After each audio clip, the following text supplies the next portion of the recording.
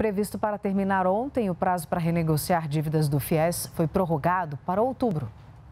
Agora, os estudantes têm até o dia 10 de outubro para regularizar as dívidas em atraso.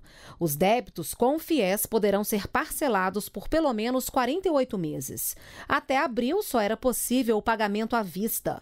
Os estudantes interessados devem procurar a instituição bancária onde o contrato foi assinado.